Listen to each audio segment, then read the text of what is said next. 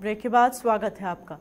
एक और जहाँ सरकार विकास के तमाम दावे कर रही है, लखनऊ के अंबेडकर नगर वार्ड एक में सड़क का निर्माण नहीं हो पाया, जिसकी वजह से बारिश में लोगों की मुसीबत और बढ़ गई। इसको लेकर स्थानीय लोगों ने प्रदर्शन किया और पार्षद पर अनदेखी का आरोप लगाया। स्थानीय लोगों का कहना है कि कई बार शिकायत के बावजूद इस ओर कोई ध्यान नहीं दिया गया।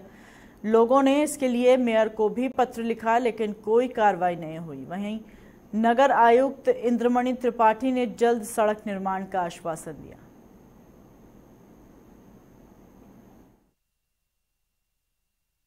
ये समस्या तीन दो तीन महीने से है, चार महीने लगभग हो गए हैं गली में जो है, सीवर लाइन का तो पड़ गया है और ये ईटे बिछ नहीं रहे, जिसकी वजह चलने फिरने में दिक्कत महसूस हो रही है। बीमारियों का डर है। हमारे जो यहाँ के नाग प्रतिनिधि हैं सभासद महोदय, उसमें उनकी भी मंशा समझ नहीं आ रही, उनकी क्या है, इसको सरकार को जल्दी ना कराने के पीछे। तो ये मैं आपसे अनुरोध करूँगा आपके चैनल के माध्यम से कि इस समस्या का निदान जल्दी से जल्दी कराएँ और हमारी आवाज़ जो है शासन तक और प्रशासन तक पहुंचाएँ। हाँ सर, अभी इस गली का निर्माण कार्य करीब आज से दो तीन चार महीने पहले चालू हुआ था। जिसका पहले सीवर कार्य हुआ, उसके बाद रोड का बनने का निर्माण कार्य था। लेकिन हमारे वकील साहब का एक मकान था कॉर्नर पे है उनका एक पाइप अनथराइज लगा हुआ था। वो इस सीवर लाइन में मिलाना चाहते थे, जो गली वाले पूरा उसका विरोध कर रहे थे। और गली वालों के विरोध के कारण उन्होंने जो उसको बनने नहीं दिया। क्षेत्रीय पार्षद से लेके यानी हम नगर आयुक्त, मेयर साहब तक के और क्षेत्रीय विधायक जो रीता बगोड़ा जोशी वगैरह के आवास तक में हम लोग हुआ हैं। लेकिन इस गली के लिए कोई भी कहीं सुनवाई नहीं हुई है अभी आज तक। और इस पर जन समस्याएँ ये आपके सामने हैं, जो भी हैं। आपके इसमें आदमी चोटिल भी हो चुका है। एक आदमी का यानी पैर भी टूट चुका है इस पर एक बूढ़ी बुज़ुर्ग महिला इस पर गिर चुकी हैं।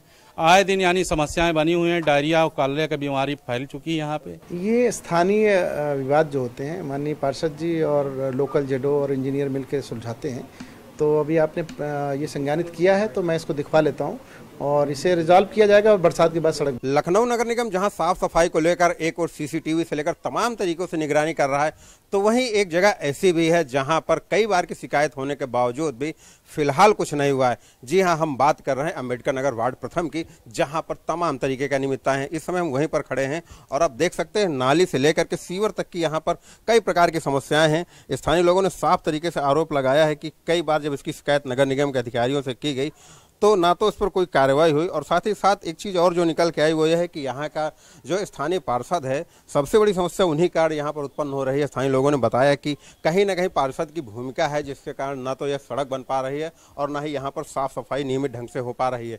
लगातार अगर बात की जाए साफ़ सफ़ाई या झाड़ू की तो वहाँ पर भी यहाँ पर चीज़ें देखने को जो मिली वो ये है कि जमादार आता तो है, लेकिन ना तो साफ़ सफ़ाई होती है, क्योंकि कहीं ना कहीं जो चीज़ें हैं, वो है ये कि नाली जो इसकी छोटी है और साथ ही साथ नाली से जो समस्याएँ जो तरह तरह की उत्पन्न होती वो ये है कि चाहे बीमारी हो और साथ ही साथ इस समय वर्षा का कारण जो है, ऋतु चल रही है वर्षा ऋतु होने के कारण जो संचारी रोग जो अभियान चल रहा है, नगर निगम भी उसमें शामिल है साफ़ सफ़ाई को लेकर के। कहीं ना कहीं अगर बच्चों को इस तरीके की कोई बीमारी हुई, संक्रामक रोग अगर हुए तो उसकी जवाबदेही किस पे तय होगी, क्या नगर निगम इस पर कुछ करेगा, या अधिकारी जागेंगे, या फ़िलहाल जो चल, जिस तरह से चीज़ें चल रही हैं, उसी तरीके से चलेगा, केवल कागजों पर खाना पूर्ति होगी और सारी समस्याओं का अंत कागजों पर कर दिया जाएगा। देखना है कि अब आगे क्या होता है। वीडियो जर्नलिस्ट अंकित तिवारी के साथ आशीष सिंह लाइव टुडे लखनऊ।